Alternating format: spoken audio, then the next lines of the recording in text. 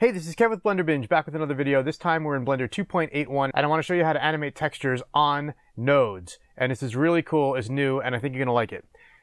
So, I'm here with a basic split screen, okay, I have a default Cubo, and I have a principled BSDF shader with a the new Voronoi texture, which is really cool in its own right, plugged into a color ramp and a bump, and it's just giving me this look inside of Eevee, okay? That's it, plain and simple.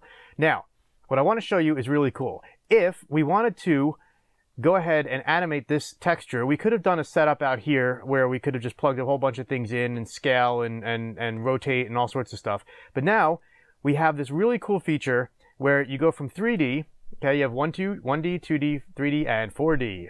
If I choose 4D, I now get this W, okay? Without going into it, okay, this is, the math behind this is really cool and it allows you to do some really cool rotation stuff. But we have this W input and output and what this does is it allows us to animate the texture on the object without really affecting the scale. Okay, this is for Voronoi, right? So if I up the scale here and I still do this, look at that. So I'm animating without anything else being plugged in. I like this. It just makes this a lot faster and cooler. So if I were to simply just go ahead and uh, at frame one, I right click, I say insert keyframe here, and I go to like say 96, okay? And I say like uh, why not? One, I hit insert keyframe, okay?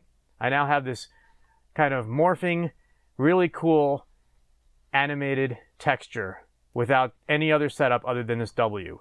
And then if you wanted to, like you change distance here, you change this to W for the height.